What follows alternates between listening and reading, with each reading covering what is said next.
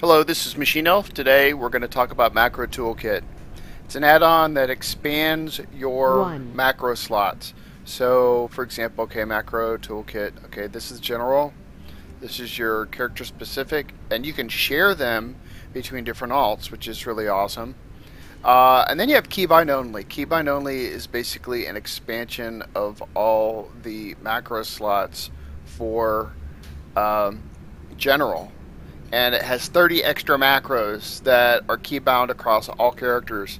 So you can have weird stuff like add on control panel, uh, you know, change profiles, uh, BG banners, um, emotes, messages, uh, belt, uh, parachute. Um, you basically have all this extra room. Um, uh, equip equip set slot changes, skull macros, changing your UI, uh, add-on options, uh, spec changes. Uh, it's pretty amazing. Um, I highly recommend you check it out. It's on Curse. The link is in the description. And thanks for watching.